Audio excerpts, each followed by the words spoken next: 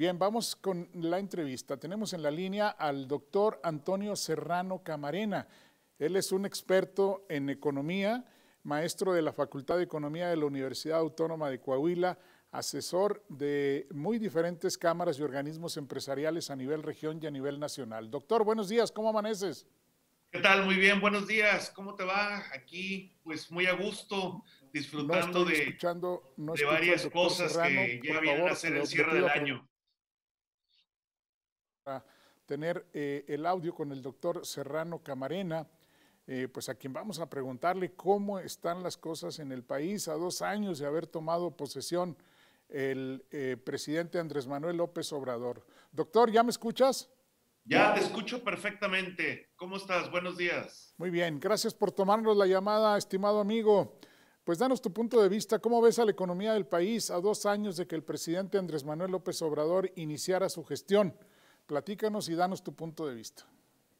Muy bien, pues bueno, hay dos partes que tendríamos que analizar en esto, eh, en este tiempo que tenemos de la presidencia de, Andrés Manuel López Obrador. La primera es antes de la pandemia.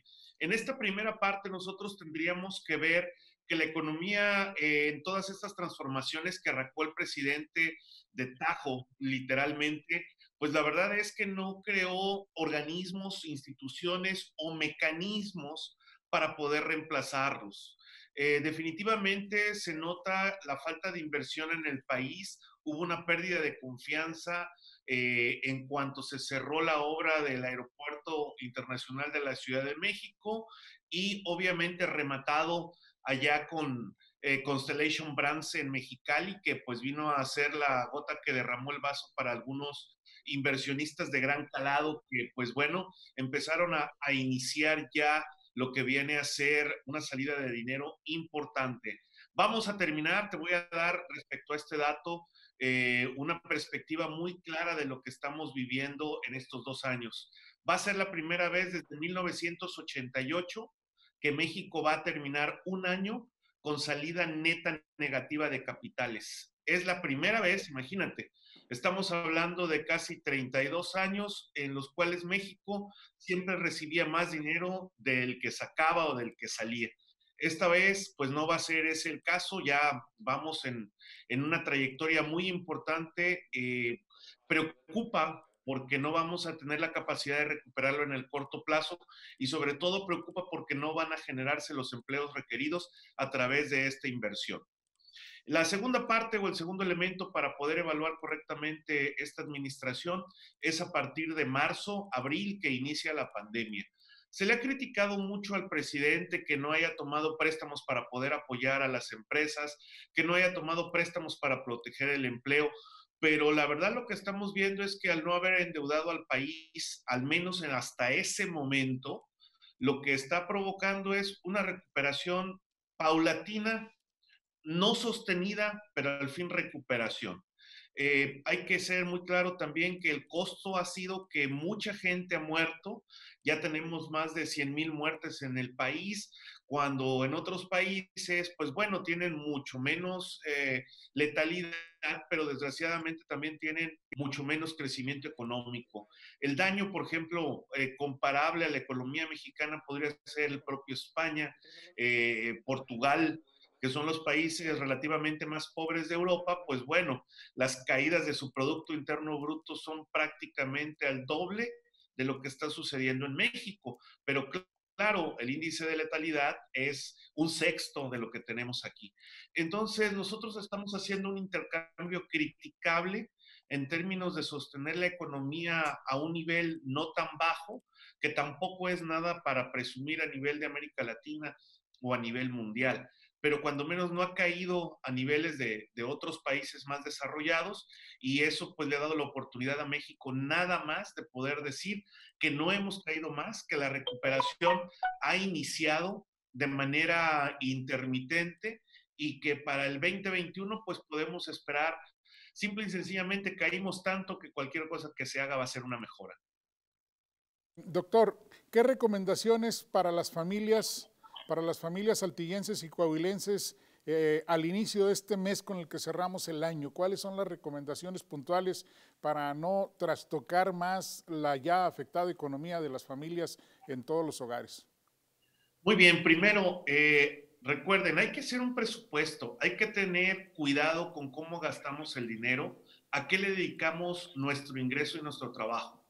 Entonces, una vez que tengamos el presupuesto, hay que dividirlo en tres partes. La primera parte es todo aquello que tenemos que gastar forzosamente, forzosamente. Por ejemplo, en comida, en la luz, el agua, eh, todos los servicios básicos que necesitamos para que toda nuestra familia funcione correctamente. Eh, también es importante que dentro de este presupuesto obligatorio, dado la situación de pandemia, empecemos a ahorrar, empecemos a tener un poquito de dinero porque tan solo el hecho de hacerse un examen del COVID vale cuando menos, cuando menos 1.800 pesos y puede llegar hasta 3.500 pesos. Es importante tener una reserva de dinero pequeña, pero tenerla para poder cubrir algunos imprevistos, tanto personales como familiares, como dentro de aquellos familiares cercanos. Número dos, en la segunda parte de ese presupuesto, lo que tenemos que poner son gastos que tengamos ya, vamos a decirlo así, de tiempo, que sean deudas contraídas, pero que también son deudas muy importantes de mantener al día. Los créditos hipotecarios, por ejemplo, son créditos que tenemos que cuidar, tenemos que apartar ese dinero constantemente, preferentemente un mes por adelantado, con la finalidad de que estemos protegidos por cualquier eventualidad. Ya no esperamos que haya eh, más desempleo de una manera súbita, pero sí puede haber pequeños escalones hacia abajo, eh, caídas importantes, más no sostenidas del empleo por las cuestiones cíclicas, ya lo sabemos. El mes de diciembre tradicionalmente trae una pérdida de alrededor de 300 a 400 mil empleos a nivel nacional, porque ese es el ciclo. Muchos servicios, muchas empresas de producción tienen que cerrar para poder terminar sus ciclos, dar mantenimiento y una parte importante de esa fuerza laboral pues se va a, sus casas sin trabajo.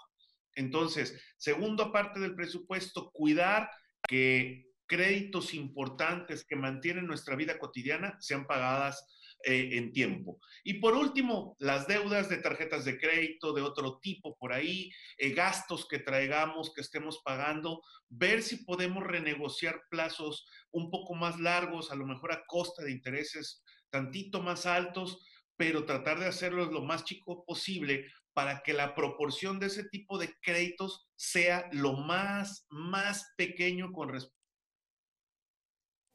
Se nos interrumpió. Muy bien. Eh, muy bien, tuvimos ahí un problema técnico con el presupuesto. Ahí está. Es fácil de dejar a un lado. Pero ya, muy bien. Y entonces la tercera parte es tratar de mantener eh, todo lo que viene a ser en el tercer nivel lo más pequeño posible con respecto al total de nuestro ingreso. Muy bien. Doctor, pues muy, muy importantes tus puntos de vista y las recomendaciones a la gente. Ojalá la gente haga conciencia de todas estas medidas que eh, has recomendado, porque es muy importante que estemos preparados para lo que se pueda presentar, pero muy puntuales tus consejos y ojalá mucha gente nos haga caso. Doctor, te mandamos un gran abrazo y valoramos mucho que nos hayas dedicado estos minutos. Muy importante, como siempre, tu colaboración para este noticiario. Gracias y que estés muy bien. Gracias, gracias a ti y a tu auditorio. Un abrazo, muchos saludos y que todos estén bien. Nos vemos pronto. Gracias, doctor.